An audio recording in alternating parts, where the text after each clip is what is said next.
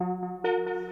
Con quasi 8 kg pro capite nel 2020, la raccolta dei rifiuti elettrici ed elettronici in Toscana ha sfiorato il tetto delle 30.000 tonnellate, dati quelli diffusi dal centro di coordinamento RAI che vedono la regione al primo posto nell'area centro Italia e che restituiscono la misura dell'impegno crescente di cittadini, amministrazioni pubbliche e imprese su un tema strategico come quello della corretta gestione delle apparecchiature tecnologiche a fine vita. Risultati quelli della Toscana ai quali negli ultimi quattro anni ha contribuito il progetto Life finanziato dalla Commissione europea con 18 milioni di euro e nato con l'obiettivo di incoraggiare i cittadini, ma anche gli operatori economici e le pubbliche amministrazioni a gestire con maggiore attenzione la raccolta dei RAE. Il progetto ha portato a eh, accendere i riflettori su, su, rifiuti elettronici. Nel corso di questi quattro anni abbiamo, siamo riusciti a mettere in piedi un ecosistema di eh, iniziative ed attività rivolte a eh, tutti questi soggetti, quindi iniziative di educazione ambientale per eh, i, i, bambini delle scuole primarie e per i ragazzi delle scuole superiori, eh, seminari di informazione rivolte alle imprese per eh, gestire correttamente i RAE, eh, corsi di sensibilizzazione rivolti alle pubbliche amministrazioni per potenziare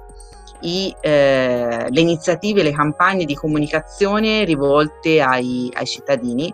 tra gli strumenti messi in campo nei quattro anni di LifeWe, seminari formativi per gli operatori pubblici e privati, un'app per aiutare i cittadini a individuare centri di raccolta comunali, ma anche una guida alla corretta gestione dedicata a distributori, venditori, installatori e centri di assistenza tecnica, assieme a un software, Circola RAE, per semplificare le procedure amministrative legate a moduli, schedari e documenti di trasporto. Insomma, informazione al cittadino, ma anche supporto agli operatori della filiera, come rivenditori e installatori di apparecchiature elettroniche che possono dare un contributo importante alla corretta raccolta dei RAE, ma che spesso vengono scoraggiati o indotti in errore da procedure burocratiche non sempre semplicissime da gestire. E forse non è un caso che nel 2020 la Toscana figuri come una delle regioni dove è stato maggiore il coinvolgimento degli operatori della distribuzione nella fase di raccolta degli elettrodomestici a fine vita. Secondo il centro di coordinamento, infatti, il 20% di tutto quanto correttamente avviato a trattamento nel 2020